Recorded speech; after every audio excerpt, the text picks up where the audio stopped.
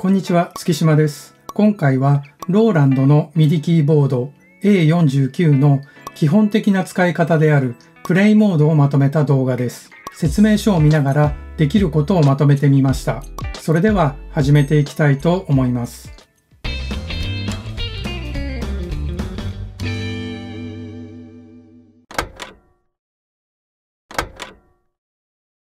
はい。 MIDI キーボードとして一番基本の使い方は DAW のインストゥルメントトラックにソフトウェア音源を立ち上げて音色を選び鍵盤を弾きます。これが基本の動作です。それではこの Studio One で基本の動作をやってみます。 Studio One ではここのインストゥルメントのタブの中で音色を選んでトラックに立ち上げることができます。例えばこのソフトウェアのこの音を立ち上げてみます。立ち上がりました。では鍵盤を弾いてみます。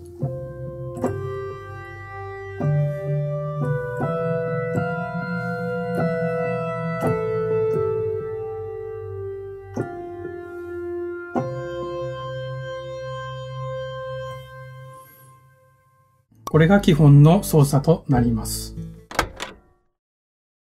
はい。こちらにある S1 と S2 ボタンを押すことでソフトウェア音源の音色を切り替えることができます。楽曲に使う音色を選んでいる時などに便利です。ただ、デフォルトでこの機能が使えるソフトウェアは限られているようです。プログラムチェンジは使えるととても便利ですので、設定できれば使いたい機能です。こちらの画面に立ち上がっているのが、スタジオ1の純正のシンセサイザーです。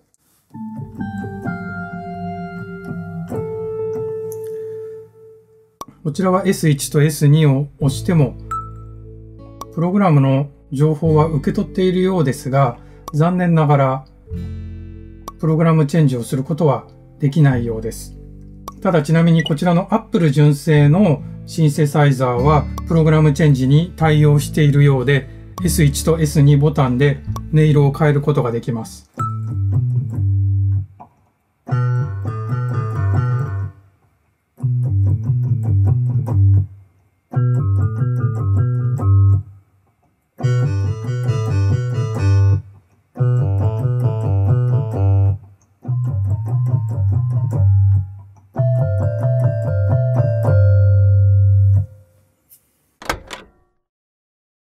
は次にこちらのオクターブボタンです。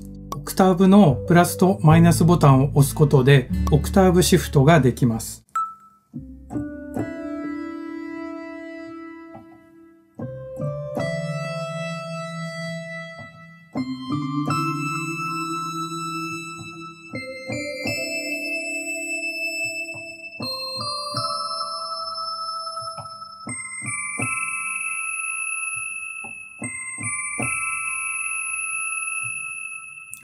マイナスボタンで元に戻すことができます。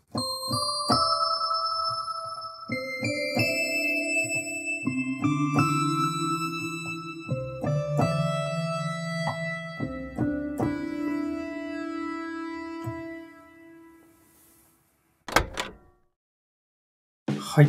次に、ここのトランスポーズボタンを押しながら、プラスやマイナスボタンを押すことによって半音単位で移調することができます。ここのインジケーターで何音移調しているか確認することができます。この機能でキーを楽曲に合わせれば黒鍵を弾かなくても演奏できますので鍵盤に慣れていない人でも楽に演奏ができます。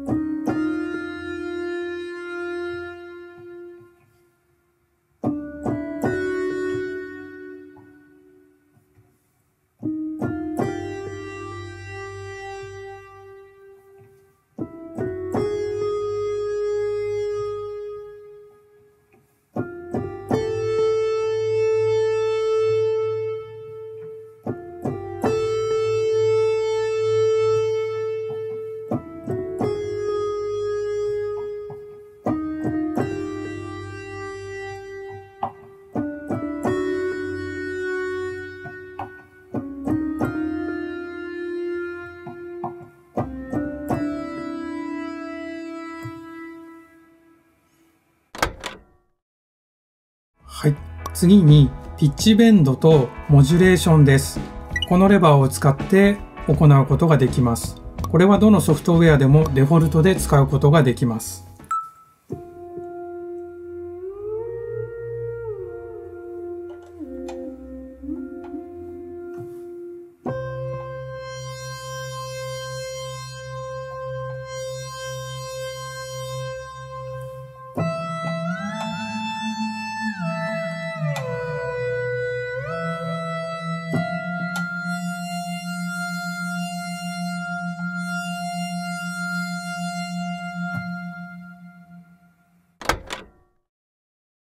次に D-Beam コントローラーです。D-Beam コントローラーは手をかざして音に効果を加えることができるコントローラーです。ピッチボタンを押すと音の音程を変えることができます。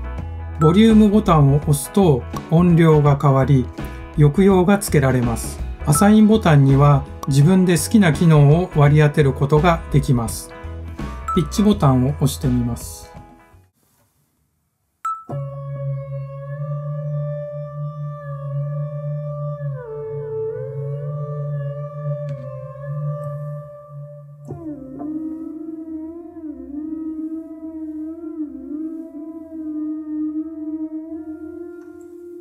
次にボリュームボタンを押してみます。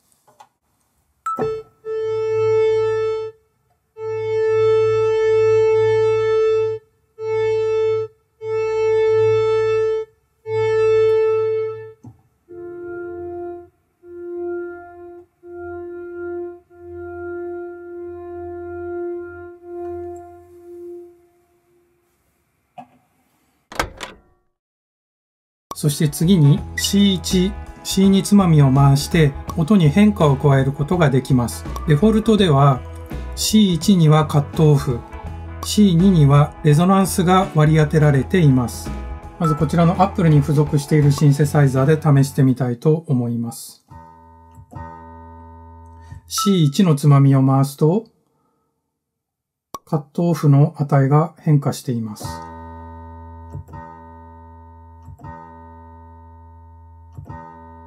そして C2 のつまみを回すと、レゾナンスが変化します。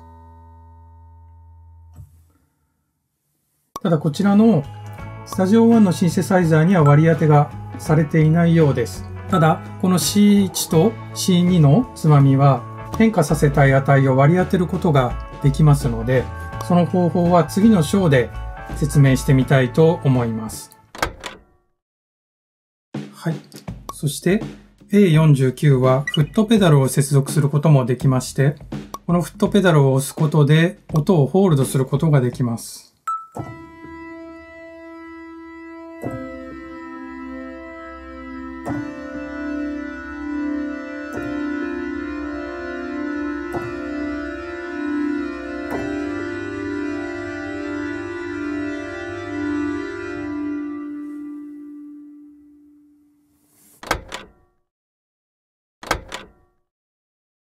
はい。ここでは C1 と C2 のつまみに音を割り当ててみたいと思います。まずはシンセサイザーでやってみます。こちらに立ち上がっているのがスタジオ1の純正のシンセサイザーになります。現状ではつまみを回しても何も反応はしません。ではまず C1 のつまみにカットオフを割り当ててみたいと思います。この右上にあります、ここの歯車のマークをクリックします。そして、左の方にコントロールという項目が出ましたので、ここの下の矢印の部分をクリックします。ここに A49 と出ていますので、これをクリックします。はい。このページで MIDI Learn というボタンがありますので、これをクリックします。この状態で C1 を動かすと、つまみが現れました。そうしましたら一旦これを閉じます。で、次にカットオフというところで右クリックをすると、一番最初の項目、カットオフを A49 のコントロール1へアサインと出ますので、これをクリックします。そうすると C の位置がここに割り当てられましたので、つまみを動かすことで、ここのカットオフが動きます。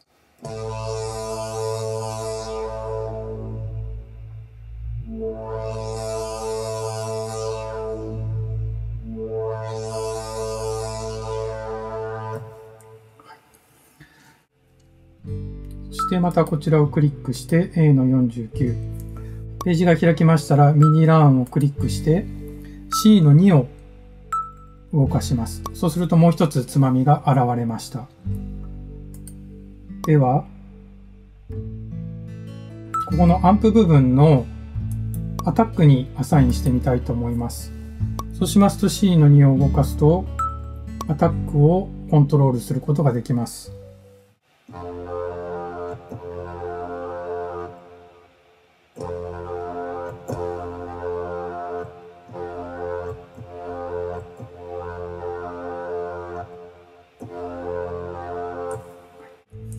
ういう形でつまみに機能を割り当てることで演奏時に音色を変化させることができます。はい。それでは次に C1 と C2 にイコライザーのつまみを割り当ててみたいと思います。まずトラックに適当なループを置いてみました。再生してみます。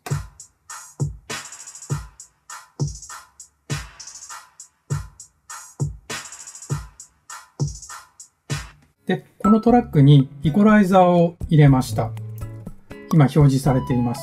これのローカットとハイカットのところにこの C1 と C2 のつまみを割り当ててみたいと思います。先ほどのシンセサイザーの時と同じで、ここの歯車のマークをクリックします。この矢印をクリックして A の49を指定します。そうしましたら MIDI Learn というボタンを押してまず C1 のつまみを動かします。この状態で、ローカットの周波数のボタン、はい。これをコントロール1へアサイン。はい、アサインできました。ここで、このボタンを押して有効にします。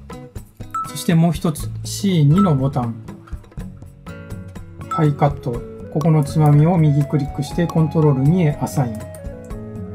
これでアサインされましたので C の1を動かすとローカットこの周波数を動かすことができます。そしてハイカットも有効にすると C の2のつまみでここで周波数を動かすことができます。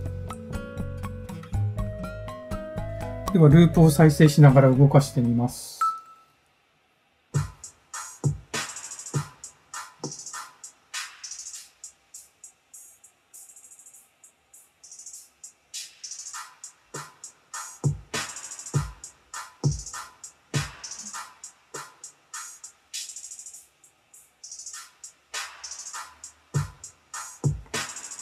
次に C2 のつまみを動かしてみます。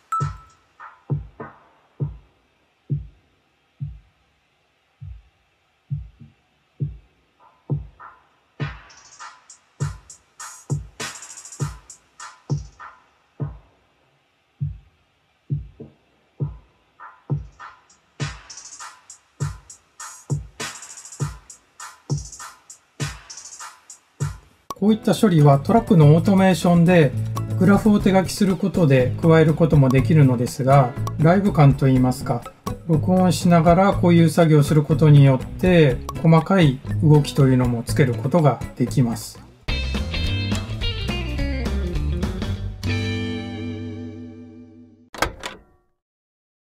はい、いかがだったでしょうか以上の機能はほとんどが工場出荷時に各ボタンに割り当てられている機能です。これらを使いこなすだけでただ鍵盤を弾くだけより幅のある演奏やレコーディングができると思います。私がよく使うのはトランスポーズで鍵盤のキーを移調させたり C1、C2 つまみに機能を割り当ててレコーディングに使用したりします。また機会があれば学んでシェアしていきたいと思います。それでは最後までご視聴ありがとうございました。